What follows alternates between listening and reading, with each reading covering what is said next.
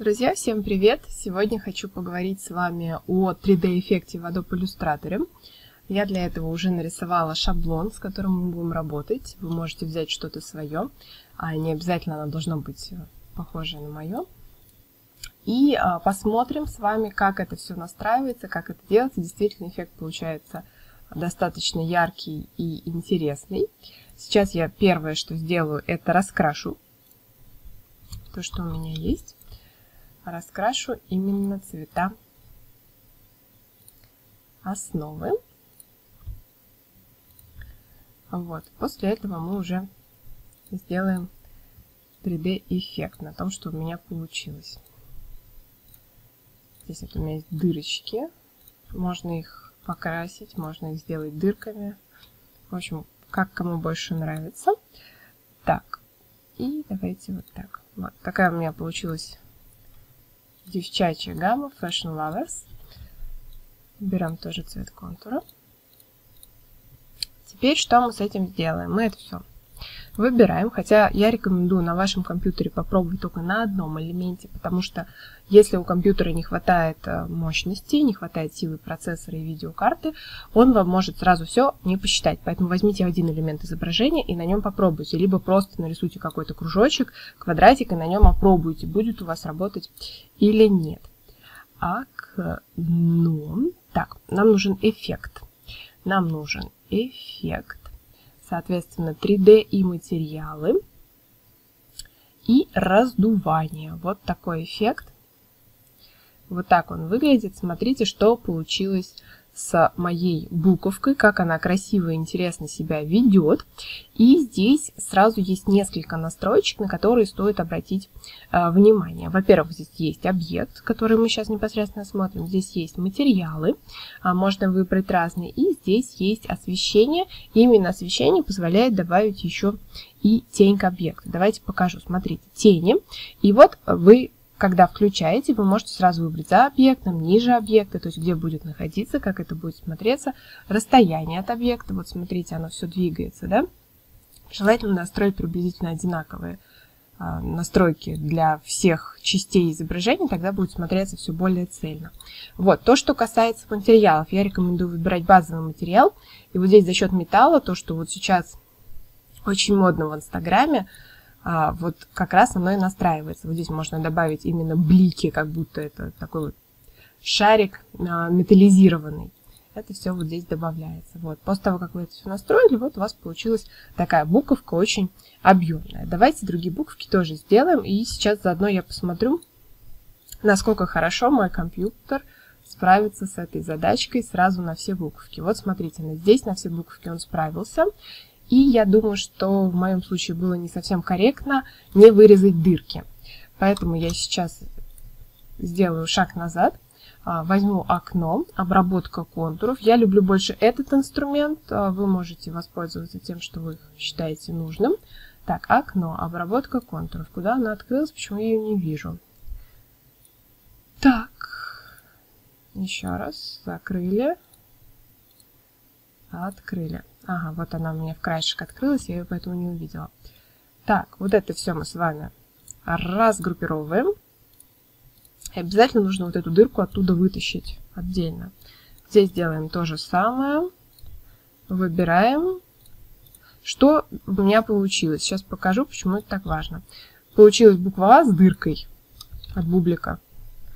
Потому что до этого у меня это было просто вот такой кружочек, на котором белый круг, который изображал, как будто дырка есть. И это вот принципиально важно, что дырка в самом объекте, да, то, что она у меня сделана. Так, разбираем, разгруппировываем.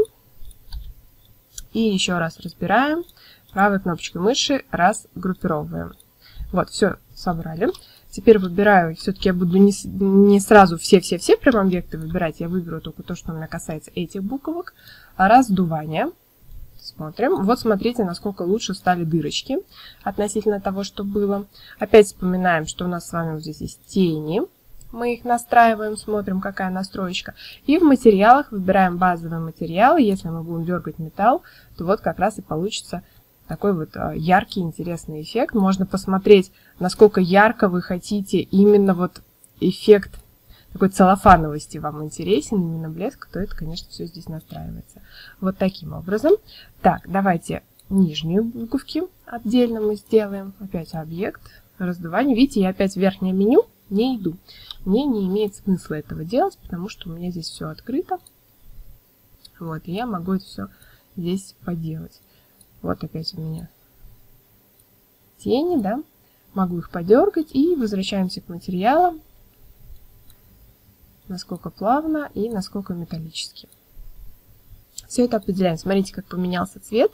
И если вы захотите, то можно потом, а, например, сделать цвет более нежный, тогда будет еще ярче смотреться. И два сердечка давайте мы тоже сделаем. Смотрите, сразу оп. Получается достаточно ярко. Вот здесь он капризничает, не хочет два сразу делать. Так, видите, тени становятся неактивными, когда два выбираю. И такое вот бывает. То есть надо обязательно эти моменты продумывать, просматривать. Так, тени, материалы. Вот, тоже смотрим. Ну, если мы все делаем в едином стиле, то имеет смысл здесь, конечно, тоже это все поправить. Вот, вот эта вот бликовая часть. И по объекту тоже, смотрите, здесь есть глубина, насколько мы хотим это настроить, а, насколько должно быть скручивание, если оно должно быть. Соответственно, наш объект выкручивается, да, и так далее. Вот объем тоже можно сделать более плоский, можно сделать более объемный, в зависимости от того, какая у вас цель. И давайте следующий я тоже сделаю. Освещение добавляем тени. И по материалу добавляем тот самый модный блик. Вот такая у нас получилась прекрасная история. Теперь можно ее разместить, например, а, на футболку или просто куда-то поставить. Получилась такая вот яркая объемная штучка. Сейчас мы разместим на передний план, потому что здесь было перекрытие тенью, это не очень красиво смотрится. И, естественно, если вы хотите какой-то цвет поярче, то вот можете откорректировать для того, чтобы у вас был оттенок нужный. Ну и здесь оттенки тоже можно поиграть. Такой вот интересный инструмент. То, что сейчас очень модно, очень интересно. Настраивается он достаточно просто, но при этом смотрится зрелищно. И я думаю, что, например, на а, в сфере того, что выходит фильм по поводу Барби, да, можно это использовать, и на всяких э, девчачьих э, интересных а, тетрадках, пеналах, футболках вполне ну вот если мы говорим про такой розовый эффект, вполне может быть, а можно что-то и мальчишеское сделать просто с другой тематикой, не с сердечками и так далее. А вот, и это можно все поправить. Соответственно, используйте, применяйте. Думаю, что вам будет интересно. Пишите в комментариях, чтобы вам было интересно еще посмотреть. И не забывайте подписать на мой канал, потому что я показываю всякое разное интересное и полезное, что касается вообще программ и моды. Поэтому Подпишитесь, чтобы ничего не пропустить. На этом все. До скорых встреч. Пока-пока.